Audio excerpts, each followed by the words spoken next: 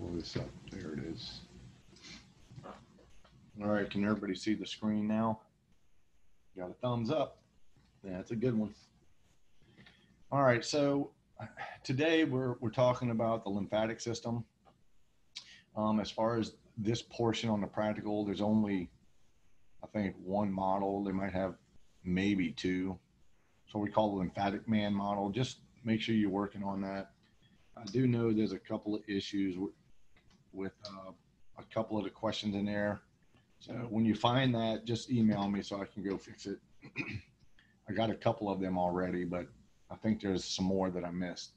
So just work on those. It'll be fine. There's, there's not a whole lot as far as model identification is concerned on the practical from this last practical that we have to have.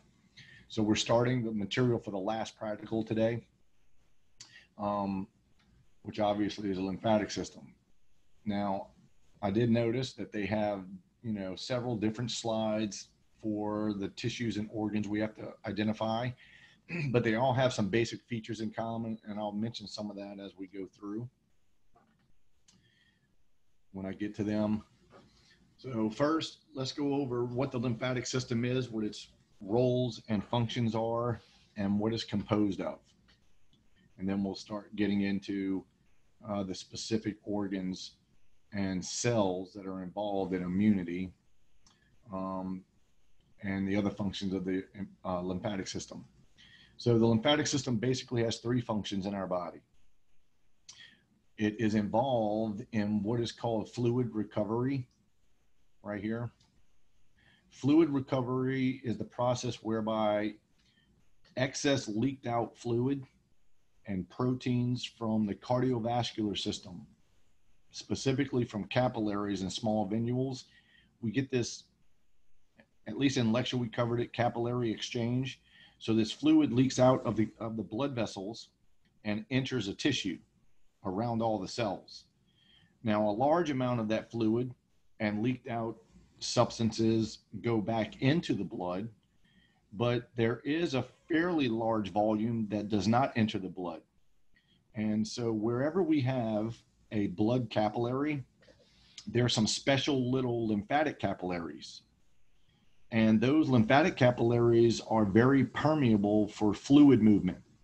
So those lymphatic capillaries basically take in any excess fluid or leaked out proteins and it enters the lymphatic system. So that fluid that it is accepting and recovering from the tissues then becomes what we call lymph. All right, and we'll talk about that in a second. So that's the draining excess fluid from tissues. We call that fluid recovery. The lymphatic system is composed of lymphocytes.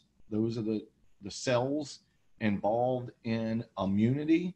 So the lymphatic system is involved in carrying out immune responses. And then the lymphatic system basically absorbs many, not all, but many of our dietary fats that we consume. So we just finished the digestive system and the enzymes that break down lipids and proteins and all of that. The majority of all of our nutrients that we absorb occurs in the small intestine, as you know, through the through the lining, the absorptive cells, but most of the fats and broken down lipids don't get into the blood first. They get into the lymphatic system first. So, for that reason, the fluid that is in the lymphatic system is kind of creamy colored because it's loaded down with these dietary fats, right? So, these are the three main functions. Um, the lymphatic system is made of three basic structures. Three, well, I should say three basic things. Number one, the lymphatic system is made of specialized organs and tissues that are made predominantly from reticular connective tissue. So these are modified reticular connective tissue organs. Um, as far as the protein fibers are concerned, they're loaded down with reticular fibers. There's some other ones. And then there's a whole bunch of lymphocytes and a couple of organs have, you know, some other cells in it that I'll, I'll mention in a minute. So we have these organs or structures, things that you are somewhat familiar with lymph nodes. Everybody's heard of that. Uh, the spleen in the body, tonsils. I'm sure you heard of your tonsils. So these organs and structures are part of the lymphatic system. Now, interconnecting all of the different structures of the lymphatic system are lymphatic vessels. So just like we have cardiovascular system vessels, capillaries being very small, then we have, you know, veins and we have the arteries, stuff we covered already. The lymphatic system also has vessels. And typically, wherever we have cardiovascular system vessels in the body, you also have lymphatic vessels. So basically, vascular tissues are also supplied by lymphatic vessels. Now, the lymphatic vessels have different branches. Some are small, like what we call a lacteal. You identify that on a model in a digestive system. A lacteal is a basically a blind-ended lymphatic capillary. Uh, they merge together to form larger lymphatic vessels, and those lymphatic vessels through the body have different names. You're going to be identifying some of these off of one of those models, but there's two main ducts that ultimately is draining the lymph, the fluid of the lymphatic system from all over the body. Lymph drains back into the blood in your neck region. So there's a right and left lymphatic duct. The left lymphatic duct is also called the thoracic duct. Now, these ducts actually physically join to the veins in our neck that you learned about, specifically at the junction of the jugular and the subclavian veins. So, right around the brachiocephalic vein on either side, the right one and the left one, is where the right and left lymphatic duct physically joins. So, all of this excess fluid and absorbed dietary fats drain through all these lymphatic vessels, ultimately to make their way to the right and left lymphatic duct in your thoracic cavity. And these ducts have the job of draining lymph back into the blood. So ultimately, all fluids in the body that you could ever learn and think about come from a filtration of blood somewhere. So we filtered the blood out somewhere in a tissue. Some of that excess fluid went into a lymphatic duct, uh, vessel, and then that lymph was drained back to the blood way up in your neck.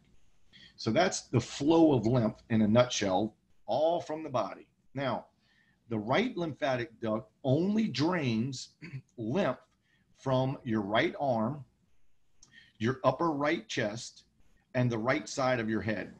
That's it. So all the lymph just from your right arm, your right shoulder, and upper right chest, and the right side of your head drains back into the blood through the right lymphatic duct. That means the left lymphatic duct has the job, or thoracic duct has the job of draining lymph from all other parts of the body. So from your feet and your legs, your lower abdomen, your left arm, shoulder, you know, the left upper side of your chest and left side of your head, all that lymph drains back into the blood via the left lymphatic duct. So we have a fluid called lymph we have lymphatic vessels. Some of them are called trunks, and some of the, the two big ones are called ducts. And then we have specialized organs and tissues. So let's talk about those specialized organs and tissues for a second. The specialized lymphatic tissues or organs can be grouped into two principal categories. Some of them are called primary lymphatic organs, and the other ones are called lymphat- uh, secondary lymphatic organs. We also have dispersed lymphatic tissue. Whether it's called a tissue or organ, I'm not concentrating too much on that. But the point is, whatever we call the lymphatic tissue or organ is loaded down with lymphocytes. So the lymphocytes are the workers of the lymphatic system for our immune response. This uh, immune function up here for the lymphatic system. So we have something called diffuse lymphatic tissues. Diffuse just means that the lymphatic tissue is not encapsulated with a connective tissue capsule. There's no capsule surrounding that group of cells in that tissue. So we just call it diffuse. A more generic name and how it's spread around the body is called mucus associated lymphatic tissue or MALT. So this tissue is actually found just under the mucous membranes in all the mucous membranes in the body. So, for instance, below the lining of your stomach, below the lining of the small intestine, so uh, in the below the lining of the urinary tract, the reproductive tract, wherever you have a hollow tube system, below that epithelial lining are scattered lymphocytes. So that if there's ever a compromised epithelial barrier, meaning like in your stomach, you might get an ulcer. The epithelial lining of the stomach is deteriorated, and bacteria and other pathogens might try and go through that hole, which is called a portal of entry, by the way. So the first thing they come in contact with, if they go through an opening in the epithelial lining, are your lymphocytes. And so your lymphocytes will be exposed to the pathogen and they start to become activated against it. And that's when we start our immune responses. So this is just called diffuse lymphatic tissue up here. The primary and secondary lymphatic organs are classified as that because of this. This is how simple it is. There's only two primary lymphatic organs. Really, one of them is more of a tissue, but only two red bone marrow and the thymus gland. So, what classifies them as primary? Well, primary lymphatic organs or tissues is where the lymphocytes are actually produced, where they're made, and or where they mature to become what we call immunocompetent. So, what I mean to say by that is obviously where the blood cells are made is your red bone marrow. You should know that already. So, all blood cells are made in red bone marrow, which is found in our bones. So, lymphocytes are blood cells. So, red bone marrow, where they're made, has to be considered a primary lymphatic tissue. So, the problem is this though when the lymphocytes are produced, they're not produced in a mature form they're not capable of carrying out immune responses yet. So you could think of them like an immature cell. So not only is red bone marrow considered to be a primary lymphatic tissue because that's where the lymphocytes are produced, but it's also the site where the B lymphocytes actually mature. Now, the T lymphocytes don't mature there. The T lymphocytes once they're produced, get out into circulation, and then they go to the thymus gland. So the thymus gland is located superior uh, and just uh, superior and anterior to your heart, the thoracic cavity, and the thymus gland is considered to be a primary lymphatic organ because that is the gland where the T lymphocytes mature. They then differentiate to become specific populations of T cells and they become immunocompetent. So, immunocompetency basically is the ability for the T cells and B cells, for that matter, to be able to carry out immune responses effectively. So, the thymus gland and red bone marrow is where the, the red bone marrow is where the cells are produced. The red bone marrow is also where the B cells mature. The T cells are produced in red bone marrow, but they don't mature until they get to the thymus gland. Now, all of the other organs that are part of the lymphatic system are called secondary lymphatic organs. And secondary lymphatic organs are things like your tonsils, which I'll talk about at the end of the packet, um, the, the lymph nodes, which are studded along the lengths of lymphatic vessels, and your spleen. So those structures are called secondary lymphatic organs because the, the lymphocytes are not made there, they don't mature there, but they carry out immune responses there. They become activated against a pathogen and begin to carry out immune responses in those areas. So the secondary lymphatic organs and tissues are where the lymphocytes become activated against a particular pathogen. That's the key. All right, so let's talk about the thymus gland. the thymus gland, you can see the picture I put up here. This was a slide I, I use in, in lab. I took pictures of it. And of course, they may have updated pictures that you can find a billion different pictures online. Um, but there's something that is uh, very obvious when you look at any slide of a thymus gland. Number one, the thymus gland is encapsulated. That means it has a connective tissue capsule around it. Those are collagen fibers that surrounds the gland. So often on some pictures, you might not see the, the fibers separated like this. It might be close to it, but it's encapsulated. But right away, the identifying character here is this. If you look on the low power magnification, you see all these little white lines everywhere. Now it looks like it's empty space, but what these are, these are called trabeculae. The trabeculae are invaginations of the capsule that dive into the gland and kind of forms these little lobules. These are called thymic lobules. It's partially lobulated. So if we look at it in large view of it, a higher magnification, what you can see in the lobule is a, a, circular structure in there and then an outer structure. Now the colors might not be exactly the same, but you'll be able to see these, these structures. So within a lobule, you have an outer region, which is always called the cortex, and an inner region called the medulla, right? Now, the thymus gland's job in our body is to allow for the maturation and differentiation of the T lymphocytes. So let's talk about the T cells a little bit. The T, well, let me do this first uh, because I passed it up. The B lymphocytes and the T lymphocytes are produced in red bone marrow.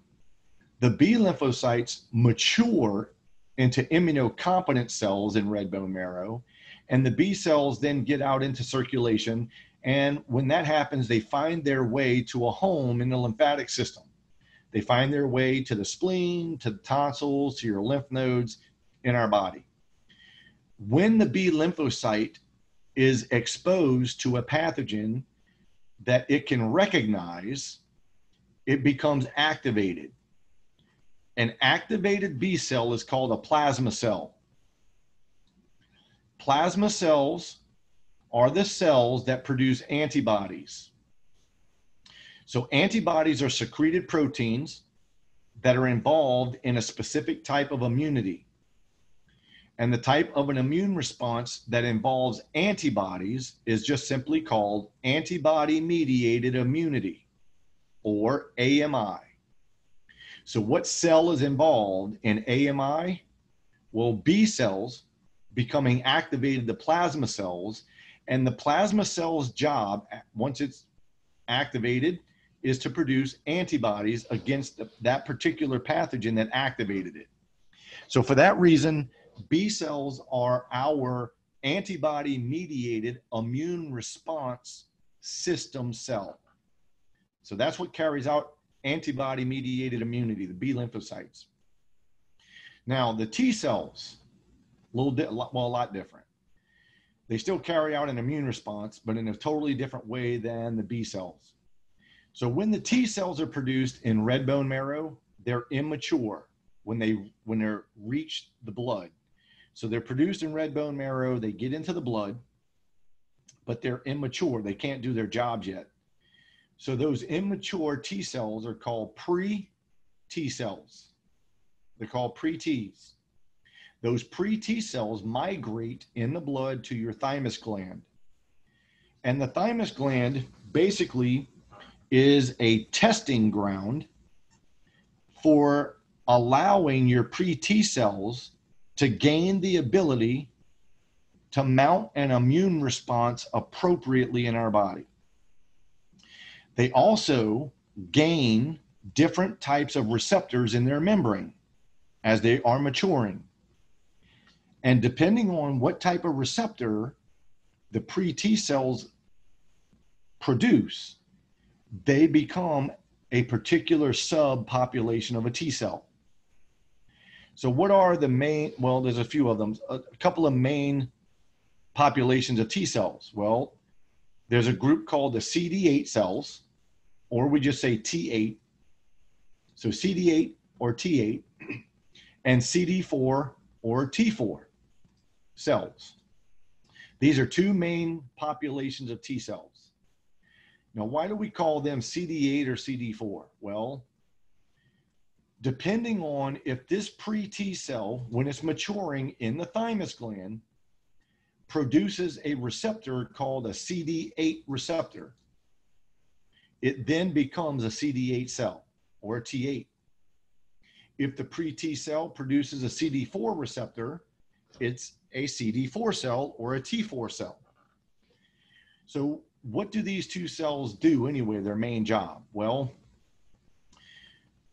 the CD8 cells or T8 cells, when they become activated out in the body against a pathogen, they turn into a cell called a cytotoxic killer T cell.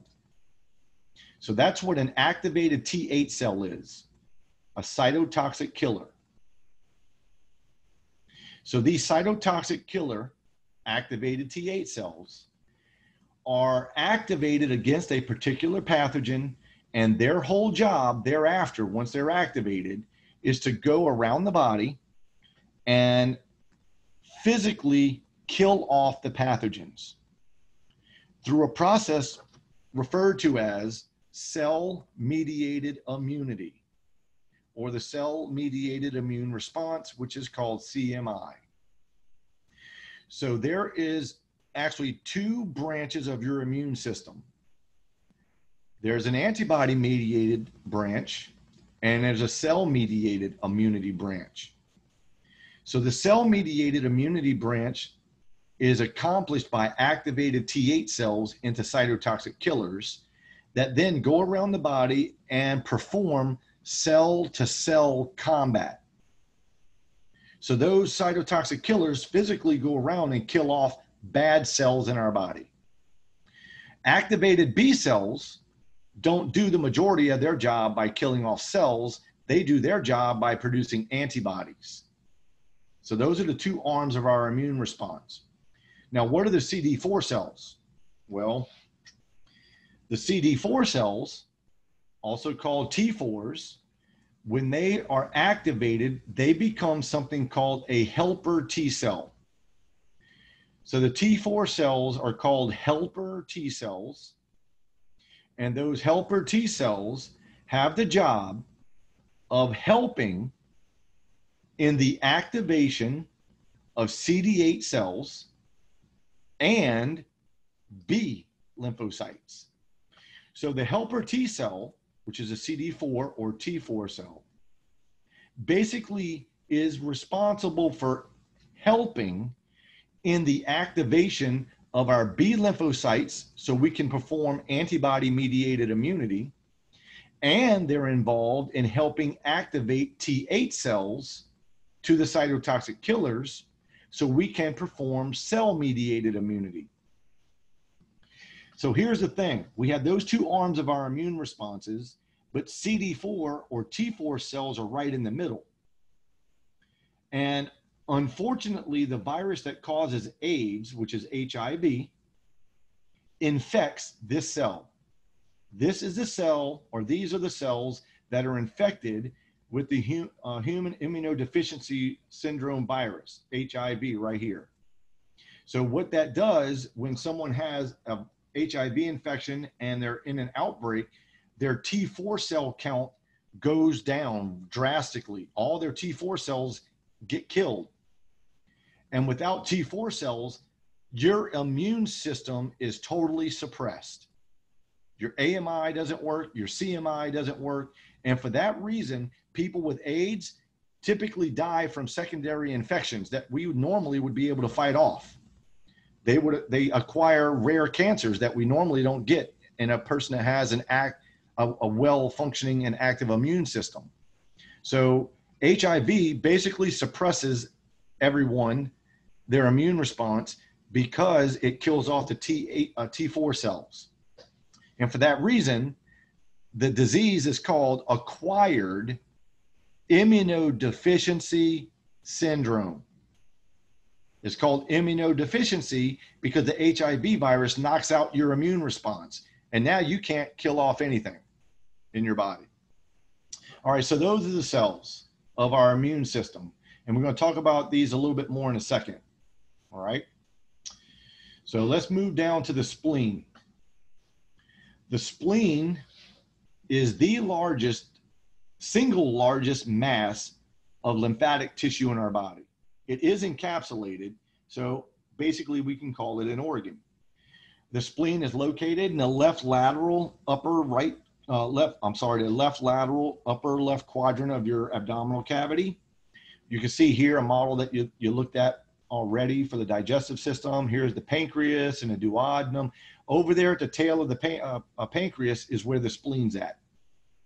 Your spleen is housed and just covered up by the last two pair of ribs on your left side of your upper uh, left quadrant in your abdominal cavity. The spleen is encapsulated with a capsule, connective tissue capsule up here. And if we look at uh, several different histological sections of the spleen, you can identify two basic types of tissue in the, in the spleen.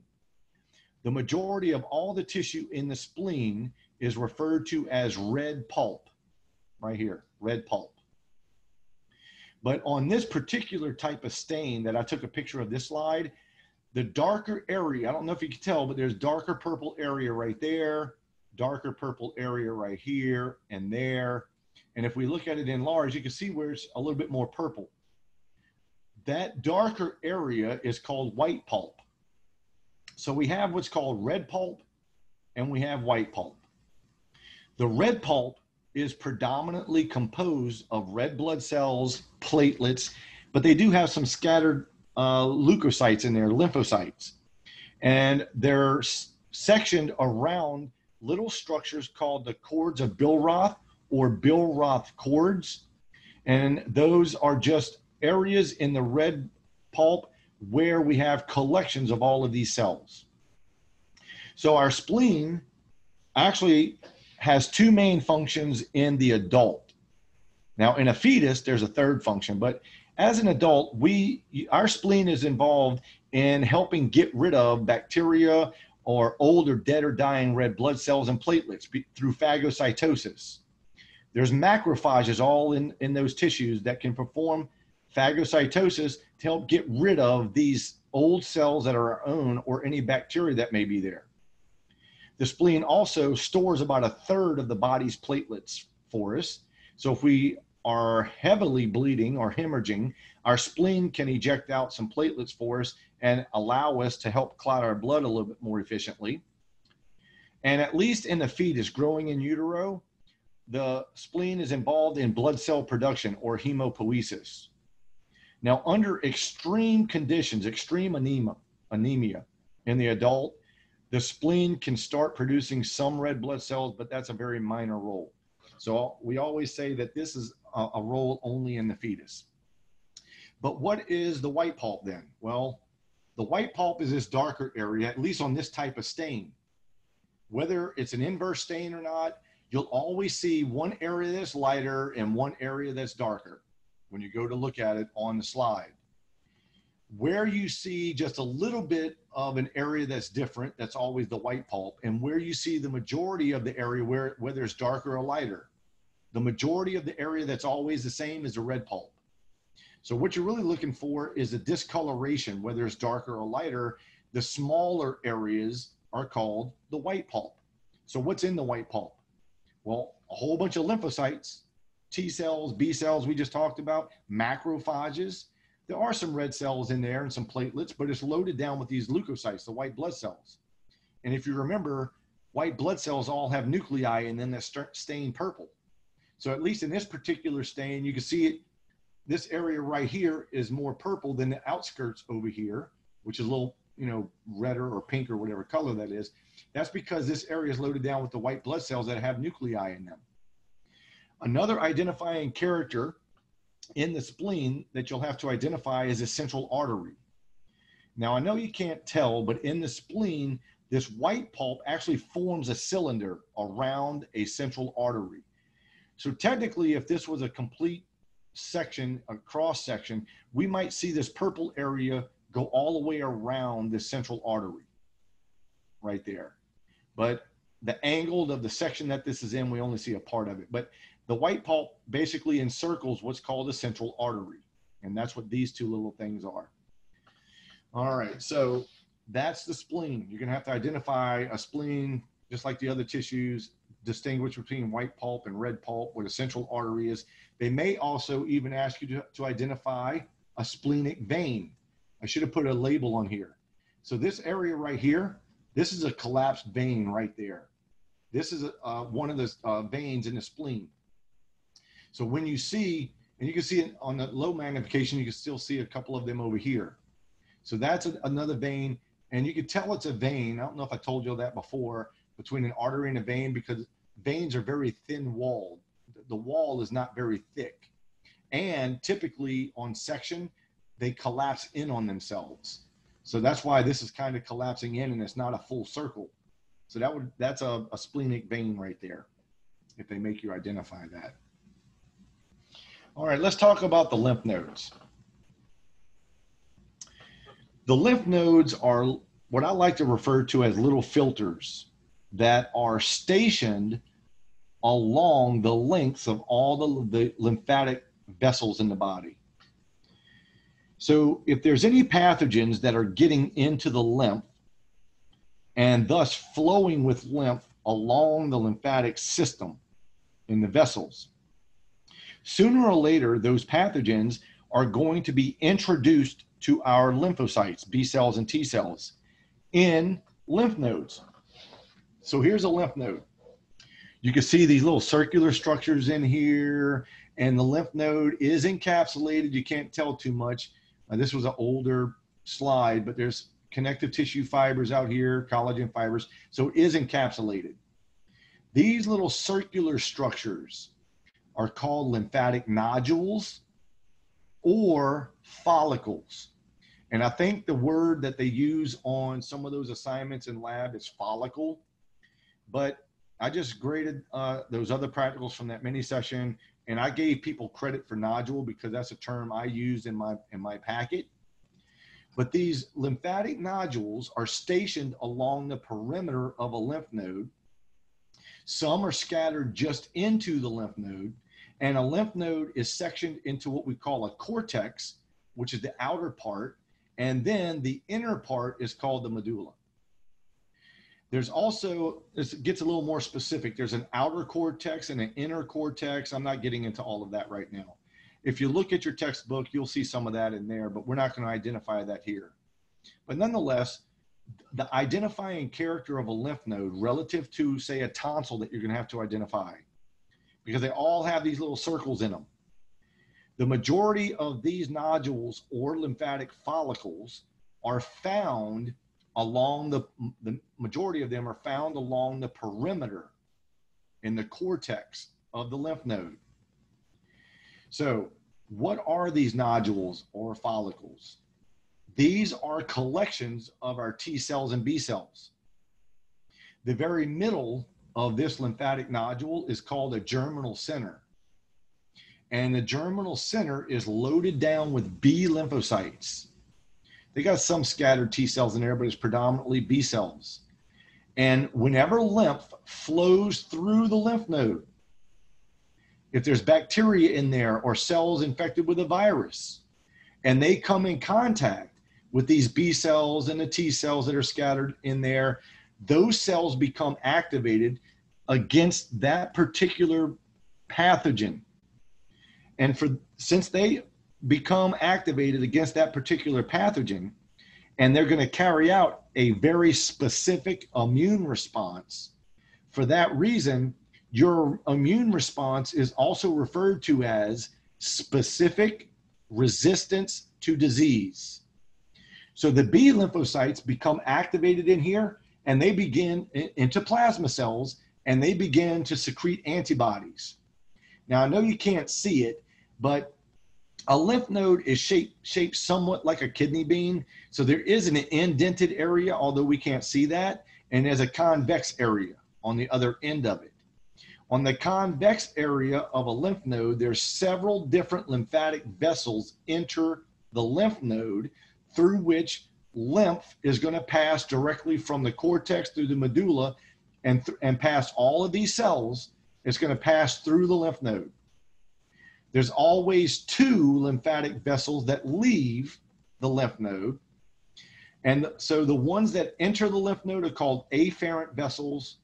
The ones that leave a lymph node are called efferent lymphatic vessels. So there's a one way flow of lymph through a lymph node. And so we can always then expose our T cells and B cells to the components that are in the lymph. So many pathogens in our body make their way around our body in the lymphatic system. In fact, that's how cancer spread in our body, if you didn't know that. Cancers that spread, uh, which are called metastatic cancers, those cancer cells spread through your lymphatic system.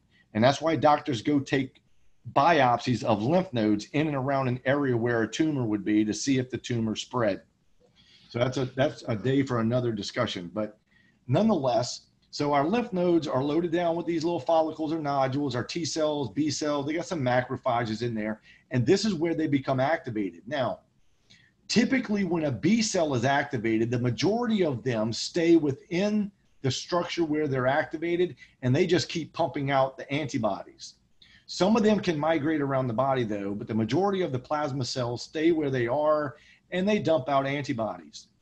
The T cells though, when they become activated in whatever organ or tissue they're in, when they're activated, they typically then scavenge around your body. They go all over your body.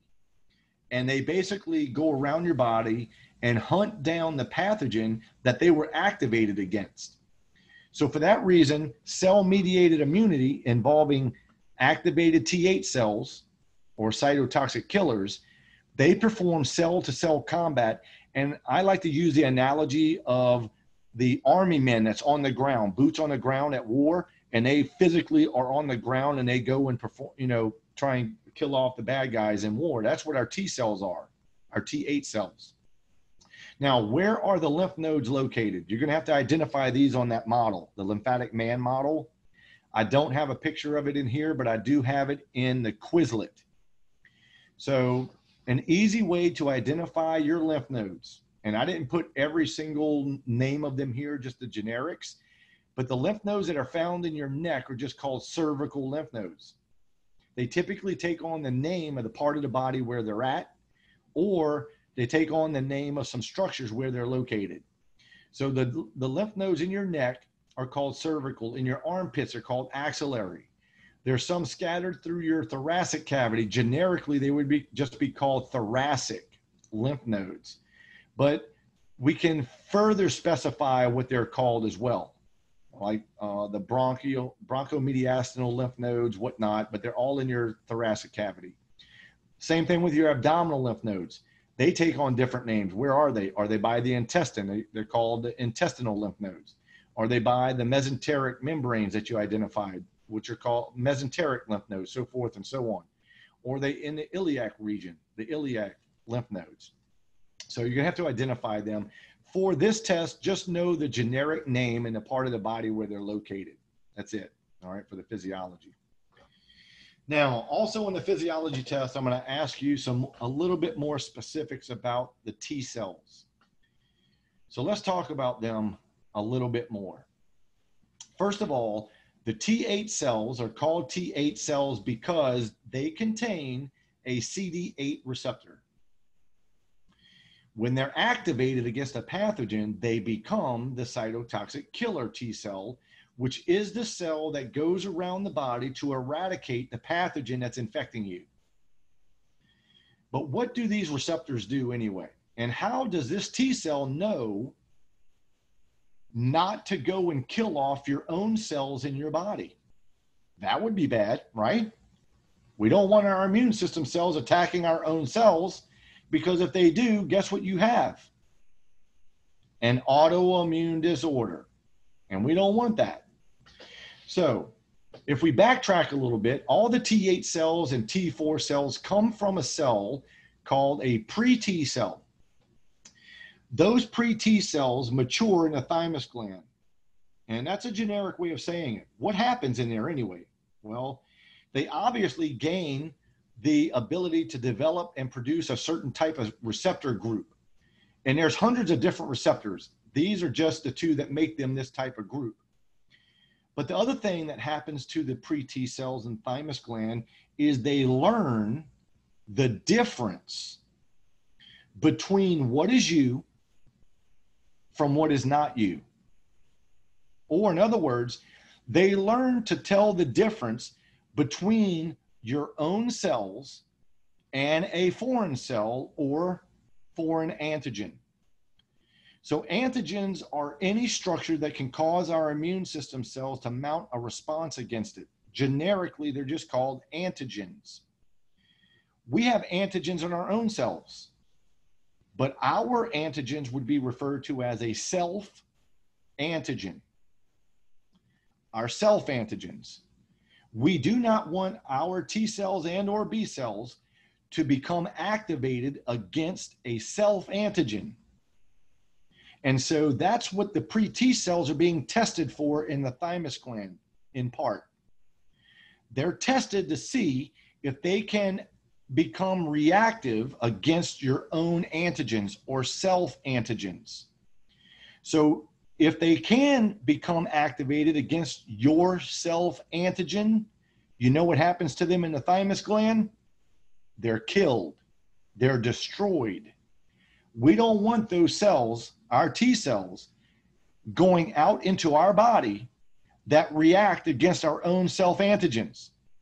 So, part of the testing that occurs in the thymus gland is to make sure that the T cells don't become activated against a self antigen. That process is called self recognition. So our T cells have to be able to self recognize first. That's their number one job. They have to be able to recognize the difference between a self antigen and a foreign antigen, like a bacteria. Really, the molecules on its membrane. But so virally infected cells look different than your own cells. Bacteria look different. Even your own cells that become cancerous look different at the surface. So our T cells and B cells have to be able to recognize those differences.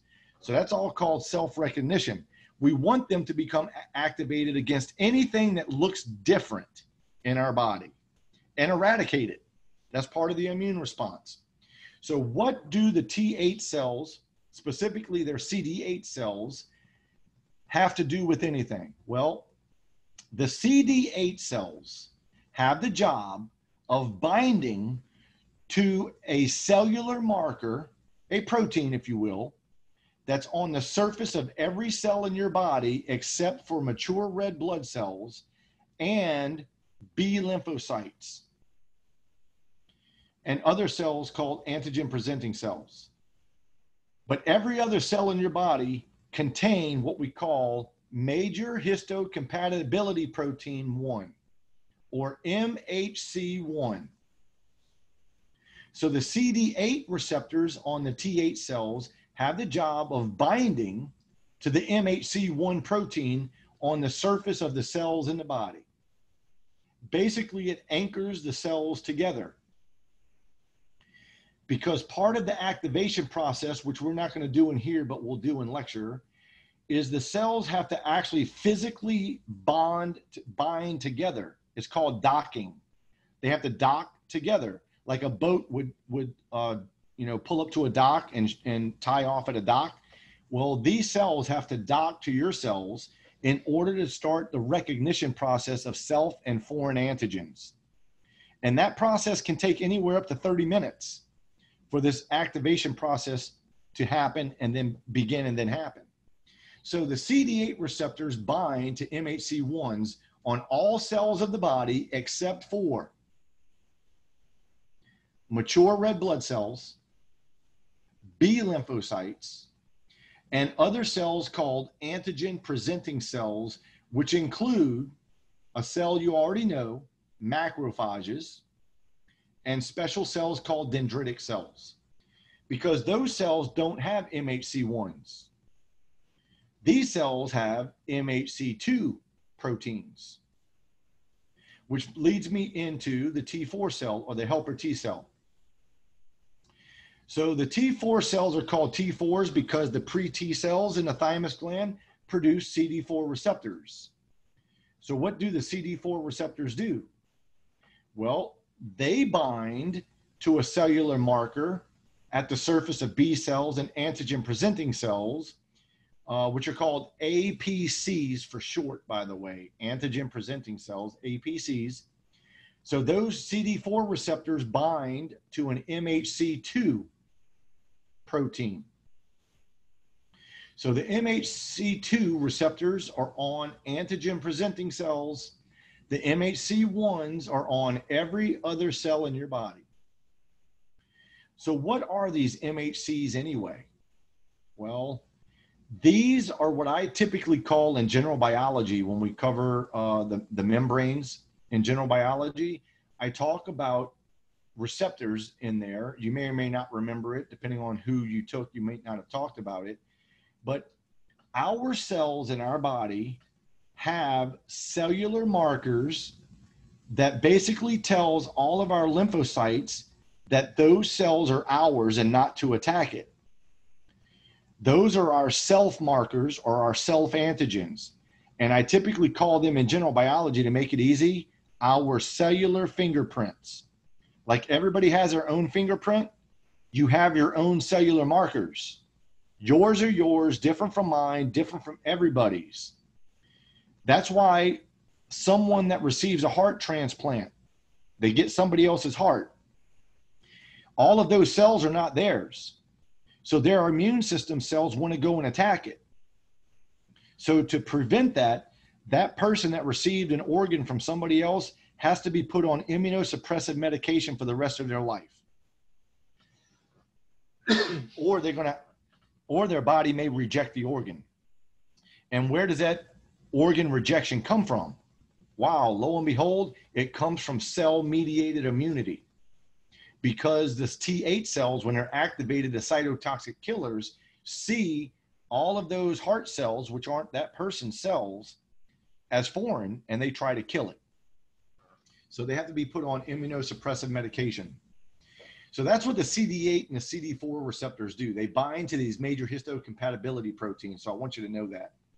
Now, again, B cells, uh, when they're activated, turn into plasma cells, which produce antibodies and for that reason, they carry out antibody mediated immunity. All right, the last thing we really have to talk about today are your tonsils. So I want you to look at this picture for a second. Um, students often confuse this and vice versa with the lymph node because you see all these little circles everywhere again. So if I go back up to the lymph node real quick, here's those little circles everywhere again. But look where uh, uh, and those are the nodules of follicles. Look where they're located. The majority of all of these in a lymph node are found in the cortex, the outer or inner cortex of the lymph node. Some can reach down towards the medulla a little bit, right? But the majority of them are along the perimeter. But look at the th- uh, look at the tonsil. the tonsils have scattered lymphatic nodules everywhere. They're all over the place. There's no rhyme or reason to it. So let me tell you what your tonsils are. Basically, you have three major groups of tonsils. The tonsils, as you may know, are found somewhere in and around your throat, your pharynx, right? They're in the back of your throat.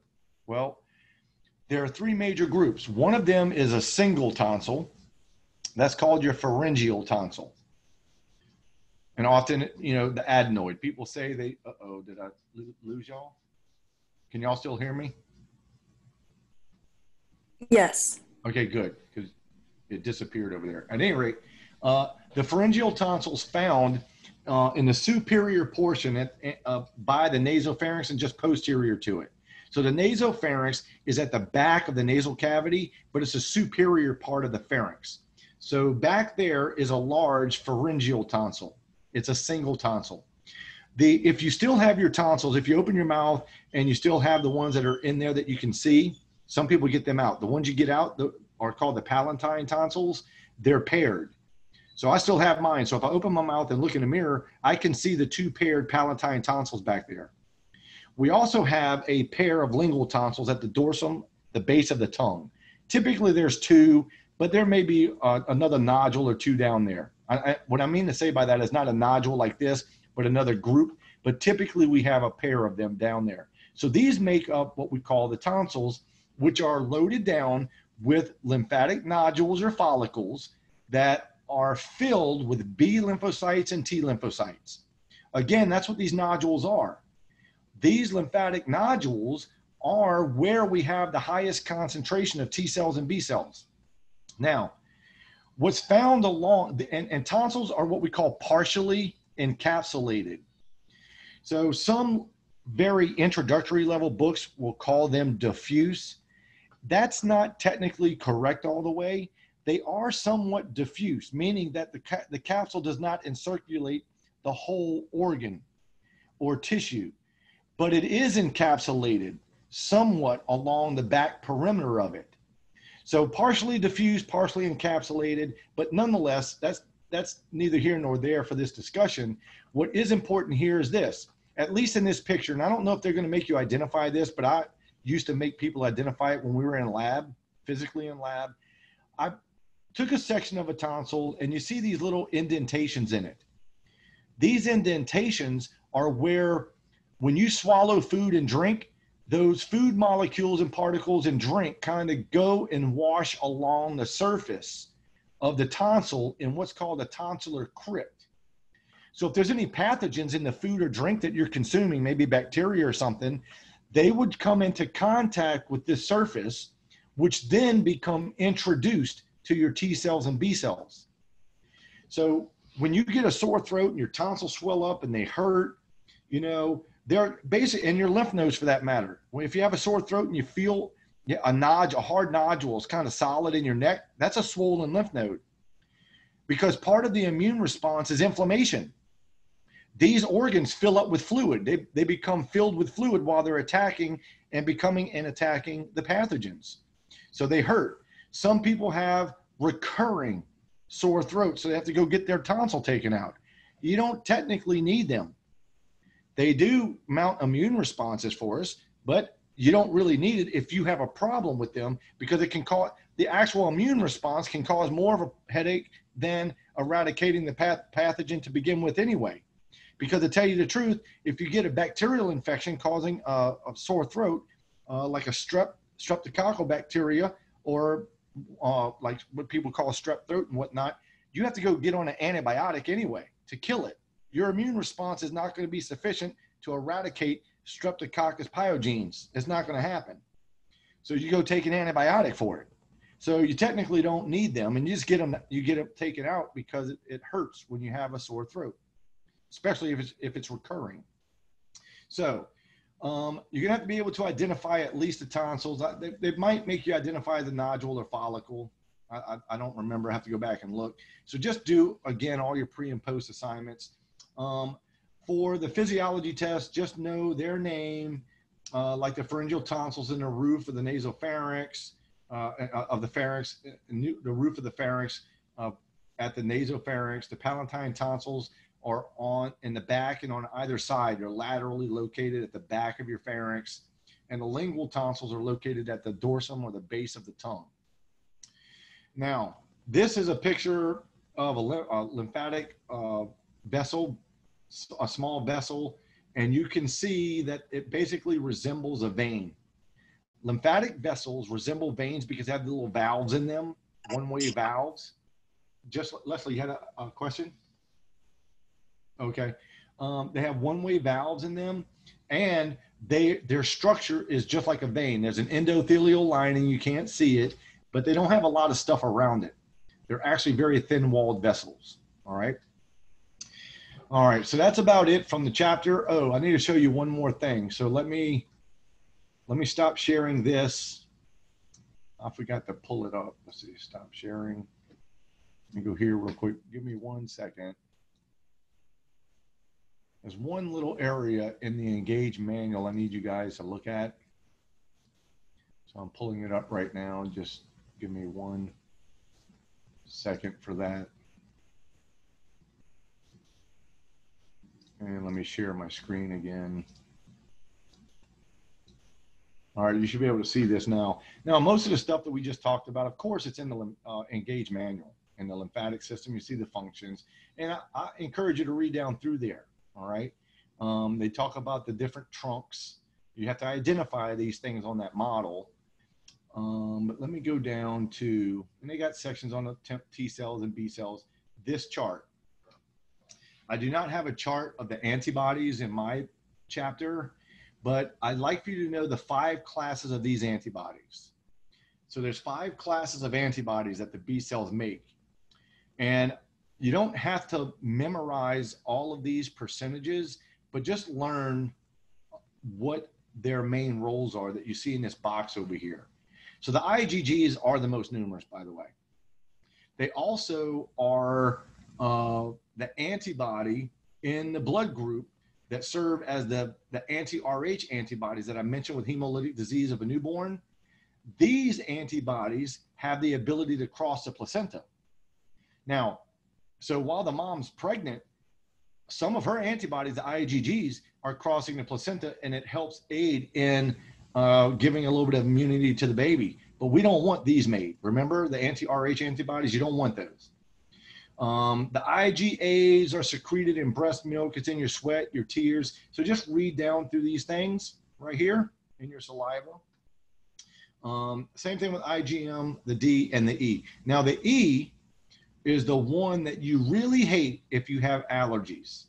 They're loaded down on inflammatory cells like uh, mast cells and basophils. And when we come in contact with uh, allergens and they're binding and activating these antibodies against these cells, we have a massive inflammatory response.